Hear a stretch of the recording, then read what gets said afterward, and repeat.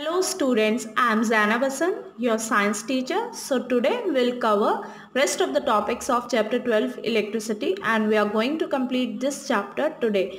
Now here we are having a topic called heating effect of electric current. क्या होता है heating effect of electric current? Students, you must have seen कि आपके घर में जो electric iron होती है press जिसको बोला जाता है generally, तो जब आप उस press का और electric iron का switch on करते हैं that starts heating अप वो हीट करना स्टार्ट कर देती है कि आपने स्विच ऑन किया, थोड़े ही टाइम बाद क्या होने लगेगा? That start producing heat heat होने लगेगी और उसी से ही आप अपनी आयनिंग कर सकते हैं. That is what heating effect of electric current room heaters होता है. In winters we are using room heaters हमने स्विच ऑन किया and a room got gets heated up तो ये क्या है? This is heating effect of electric current when current is pass through high resistant wire it becomes hot and start producing heat this phenomenon is called heating effect of electric current कि जब एक high resistant wire जैसे high resistance मतलब जिसका resistance ज़्यादा होता है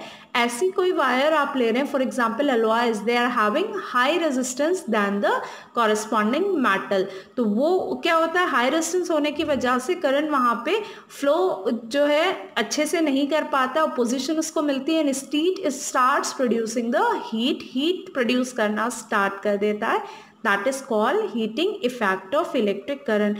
If we talk about the applications of heating effect of electric current तो वट डज इट मीन इसका मतलब होता है कि एप्लीकेशन का मतलब क्या होता है? यूजेस कि ये heating effect of electric current कहाँ कहाँ यूज़ हो रहा है।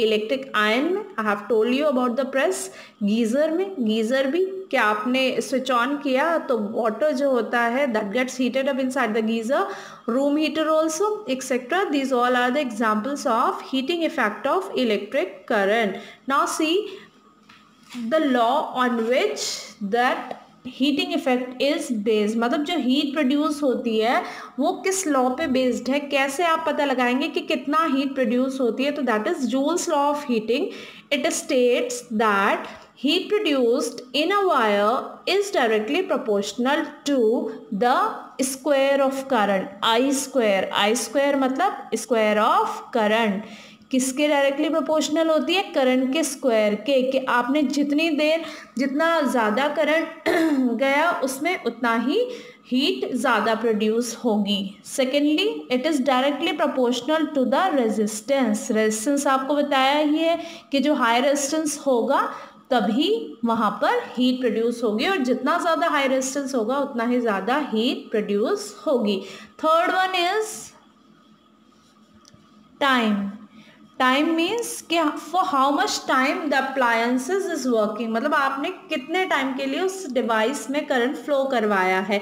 फॉर एग्जांपल आप प्रेस को जितना ज़्यादा टाइम के लिए उसके अंदर करंट फ्लो करवाएँगे, जितने टाइम के लिए यूज़ करेंगे स्विच ऑन रखेंगे, उसका उतना ही वो हीट प्रोड्यूस करना स्टार्ट कर देगी। ऐसे ही कभी भी होता है कि आपने प्रेस रखी, छोड़ दी है किसी कपड़े पर तो then word happens that the whole cloth gets destroyed वो जल जाता है सारा। क्यों? क्योंकि वहाँ पे जितना ज़्यादा ज़्यादा टाइम होता चला जाता है, उतनी ही ज़्यादा हीट प्रोड्यूस्ड होती चली जाती है। तो अगर हम इसको कंबाइन करें then it becomes H directly proportional to I square R T but अब हमें क्या चाहिए? We need this in the form of formula ये तो मैथमेटिकल एक्सप्रेशन हो गया जूल्स लॉ का कि भाई मैथमेटिकली क्या होता है? जूल्स लॉ को हम क्या लिख सकते हैं?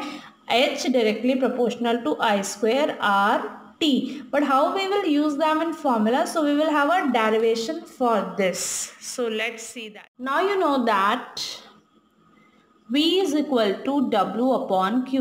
The potential difference. Formula याद आया आपको? V is equal to W upon Q. यहाँ से if we take out the value of W, it will be V into Q. अगर हम इसकी cross multiplication कर दें then क्या हो जाएगा W is equal to V into Q. है ना then we make it equation one इसको हम इक्वेशन वन मान लेते हैं now we know that v is equal to I R हमारा most common Ohm's law Ohm's law के according हम कह सकते हैं कि v की वैल्यू क्या है? It is equal to I R और q q आपको कहाँ याद आ रहा है? Q की वैल्यू हम कहाँ से लिख सकते हैं? Yes from the formula of current जो कि होता है I is equal to Q upon T यहाँ से हम क्यू की वैल्यू निकालेंगे तो वो क्या हो जाएगा?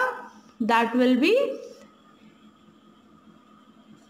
Q is equal to I T और आई इंटू टी अब हमें दोनों वैल्यूज़ मिल गई। We got V and we got Q ये दोनों वैल्यूज़ हम अपनी इक्वेशन में रखेंगे। Put the value of v and q in equation 1 so what we get? W is equal to v की जगह क्या रखेंगे हम? I r. And instead of q, we will write t. Then w is equal to i square r T W की value क्या निकल करके आ गई है? W is equal to I square R T हमने क्या किया?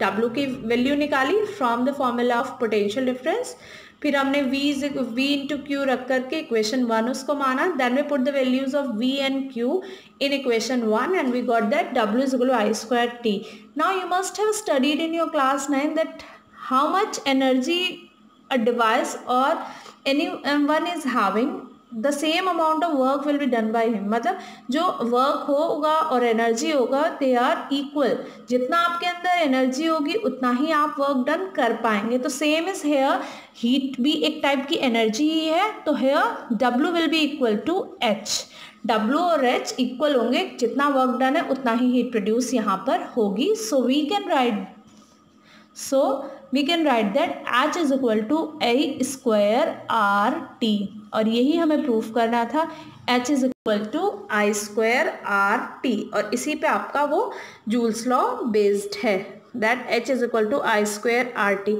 आप इस H is equal to I square R T को you will be using in your numericals now last topic of chapter 12 that is electric power.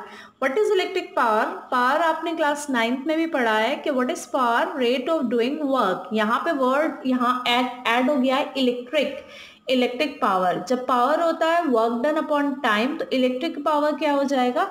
Electrical work done per unit time कि कितनी कोई electric device कितने time में कितना work done कर रही है या फिर कितनी एनर्जी उस डिवाइस में कंज्यूम हो रही है? और we can write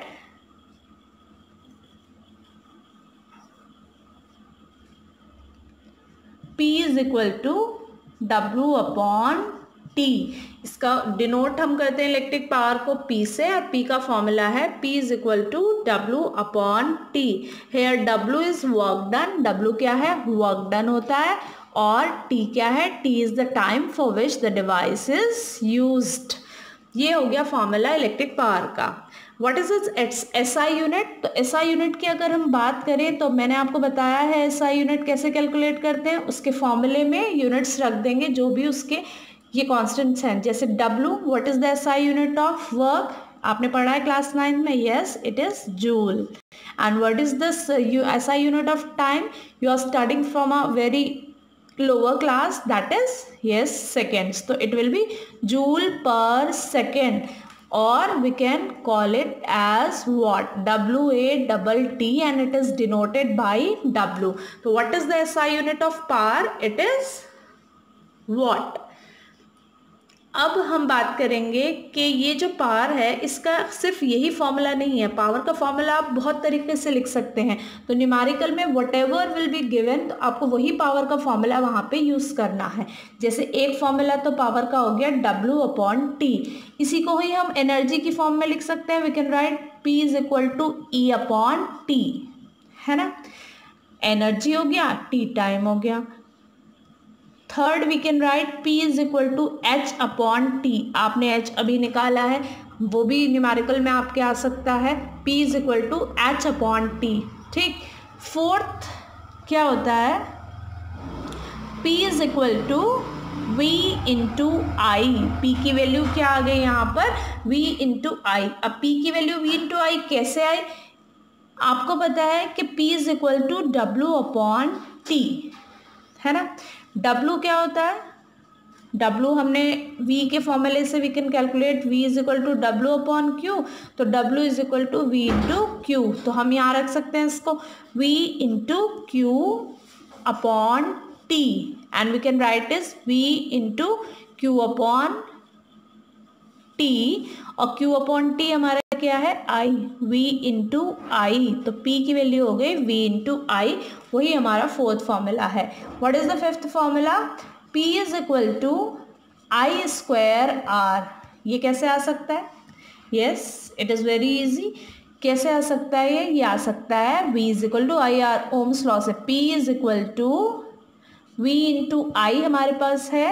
V की जगह हम लिखेंगे I R into this I तो P is equal to I square R ठीक है? This the fifth formula and the six formula is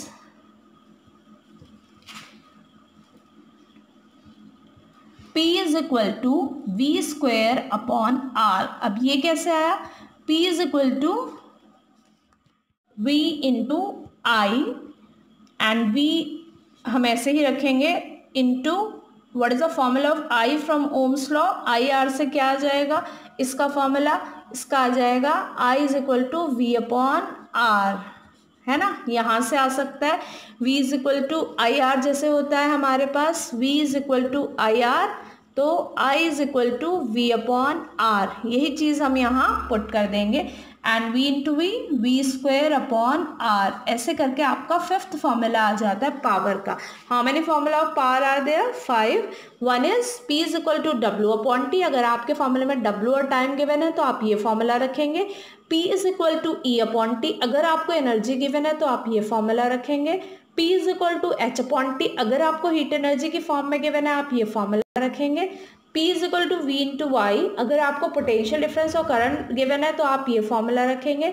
P is equal to I square R अगर आपको current और रेजिस्टेंस की वैल्यू गिवन है तो आप ये फॉर्मूला रखेंगे। And the last one is P is equal to V square upon R मतलब अगर आपको पोटेंशियल डिफरेंस और रेजिस्टेंस गिवन है तो आप ये फॉर्मूला रखेंगे। And now comes the definition of its unit, it is one watt. One watt की डेफिनेशन क्या होगी? वन वॉट की डेफिनेशन होगी, power of a device which consumes 1 joule energy in 1 second या फिर it completes one joule of work in one second one joule work अगर वो कर दिए एक सेकेंड में, या फिर वन जूल एनर्जी कंज्यूम कर रही है एक सेकेंड में the power is one watt one watt is equal to one joule upon one second so hope you understood this chapter and revise all the formulae. Your homework for tomorrow is you have to write all the all the formula which are which have been used here in this chapter. Till then take care. Have a nice day